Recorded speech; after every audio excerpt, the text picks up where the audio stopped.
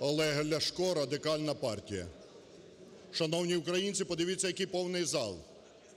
Я не бачив стільки депутатів, коли приймали присягу. Зупиніть 10 із 10 українців і запитайте, чи вірять вони в те, що ви зійшлись тут для того, щоб приймати рішення, які дадуть подолати корупцію. 11 із 10, яких ви спитаєте, скажуть, що не вірять. Суспільство не вірить вам і тій містифікації, яку ви сьогодні влаштовуєте. Реальна боротьба з корупцією – це подолання бідності, це повернення українців додому, це підвищення доходів українців, це відновлення економіки.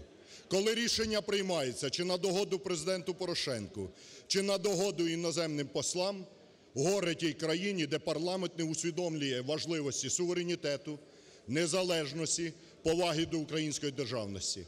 Команда Радикальної партії проти зовнішнього управління, проти того, щоб українцям ставили завдання. Українці повинні керувати своєю державою і своєю долею.